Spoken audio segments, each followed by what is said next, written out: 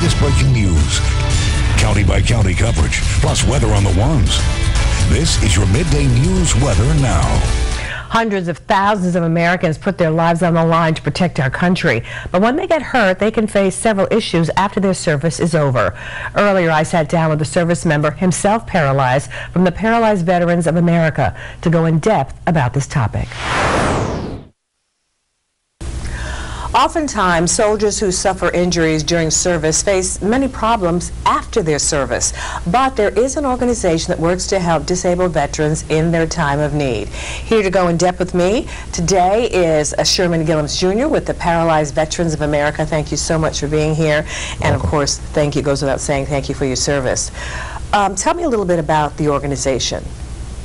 Paralyzed Veterans of America right now is in its 68th year of being the lead voice for veterans with spinal cord injury and disease.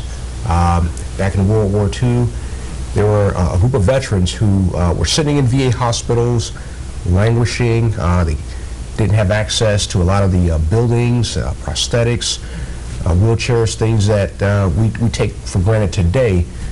so they got themselves together and formed a group that was going to advocate for veterans who couldn't speak up for themselves at that time. This was back in 1946. Mm-hmm. And since then, we've taken on uh, just about every issue related to uh, improving quality of life for paralyzed veterans. And it goes from uh, legislative to social uh, to just about every aspect of life where uh, today we now see uh, great gains made in research.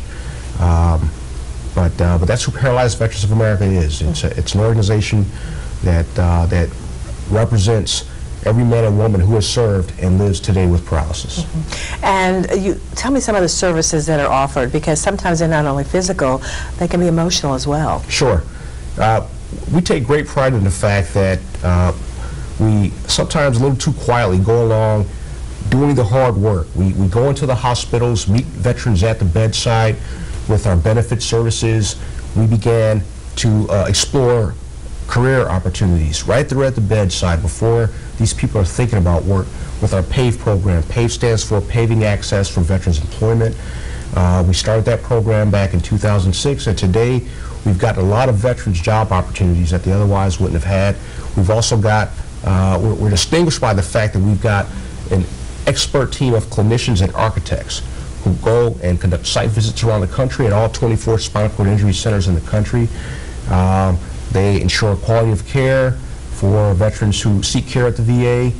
We also have a sports program. We have uh, government legislative staff that goes on Capitol Hill and ensures that uh, laws and, and other uh, priorities uh, remain uh, in the focus of our, of our congressional representatives as well.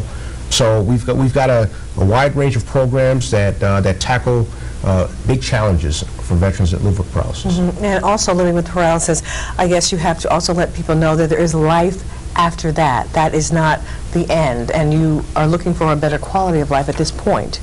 Sure, quality of life means uh, different things to different people, mm -hmm. uh, but we think that there are things that every service member, regardless of disability, ought to have. One of them is opportunity the opportunity to work. Uh, I want to reiterate, even though the, uh, the veteran unemployment rate has dropped in general, for veterans that are hard to place, for veterans that have disabilities, for veterans that uh, are going to have a hard time just getting up in the morning putting on a suit, we want to make sure those men and women don't get forgotten as we celebrate uh, uh, what should be celebrated, key achievements like a lower unemployment rate. Uh, but we're not going to let the country take its attention off those who are often underserved. Uh, there, there's still problems with access to care. You know, we, when we think of prosthetics, normally we're thinking about an artificial limb right. or, or, a pacemaker, but wheelchairs are prosthetics items. And uh, the Department of Veterans Affairs has changed a lot of its process, and it's now a little bit harder to get some of these customized prosthetics items like wheelchairs that 100% of our members rely on. Uh, we've got about 1,600 members that live here in the state of Florida, uh, about 400 in this area alone, and uh, we want to make sure that they all have a voice, no matter uh, how bad off their injury happens to be. Well, we appreciate the information. Of course, we'll have more uh, about your organization on our website. But again, uh, Sherman Gillums Jr., thank you very much, and thank you for your service. Thank you for this opportunity.